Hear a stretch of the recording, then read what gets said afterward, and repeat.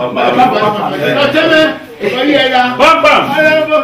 Senator Matthew Urhoghide, in company of some top leaders of the PDP, were at the Benin Central Mosque to felicitate with Muslims on the occasion of the Eid al-Kabir celebration. The senator presented bags of rice, two bags of yams, noodles, bags of salt, and cash to the acting chief imam of the Benin Central Mosque. The senator representing Edo South Senatorial District, Pharmacist Matthew Urhoghide, said though he is a Christian, he decided to rejoice with the Muslim community. Religion is supreme to every other thing.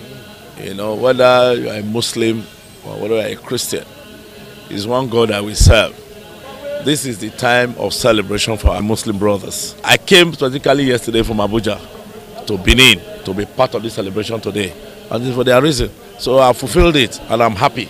The senator advised Muslims to use the occasion of the Eid al-Kabir celebration to be steadfast and not to relent in the worship of the Almighty God. They have to be steadfast in their worship of our most you know, supreme being, who's our creator. The whole essence of this country, for us to have peace, you know, for us to live in harmony. And you can see if we too can have this interaction at this level, we have love for one another. We will have love for God and we have love for our country.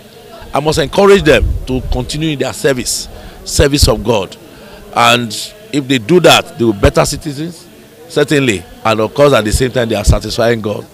The acting chief imam of the Benin Central Mosque, Alhaji Ismaili Inabulele, thanked Senator Matthew Rohide for his love and promised that the Muslim community will continue to pray for him.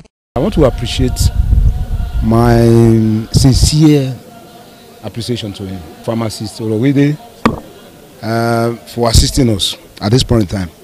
And as you can see, EDKB called for what? Sacrifice. So he voluntarily brought these things for us the, the generality of Muslims are going to pray for him. I will continue to pray for him. And so from the purse he has brought this morning, may Allah re replenish him. Have from the good things he's doing. If it's another person, will say, oh, Muslims, he's not interested.